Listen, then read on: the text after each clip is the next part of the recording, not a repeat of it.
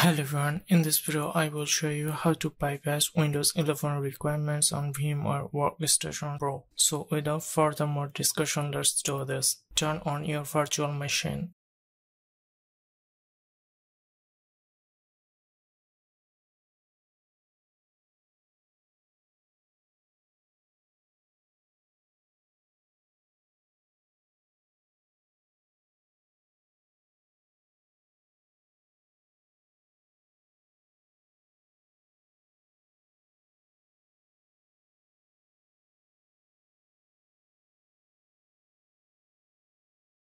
As you can see here, this PC cannot run Windows 11. Press the Shift plus F10 key to run command prompt. Type in the command prompt regedit to run the registry editor.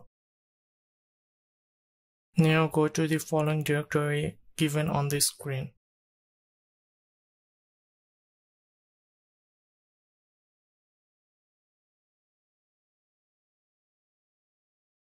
Right click on the setup folder and create a new key.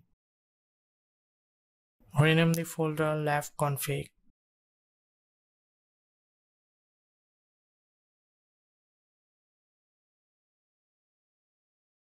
Select the lab config folder and right click on the empty space and click on new. Then DWORD 32-bit value.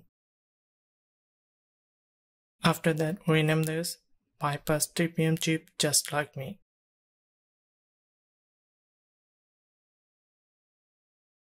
Then double click on it and set the value 1.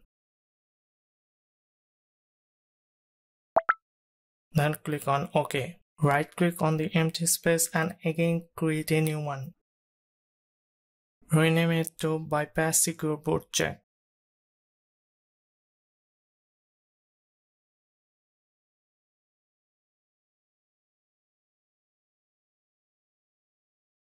Double click on it and save the value 1. Click OK. Once again create a new one.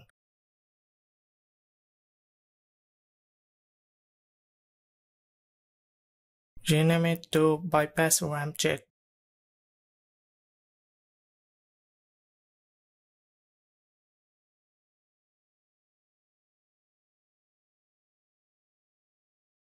Double click on it and set the value 1.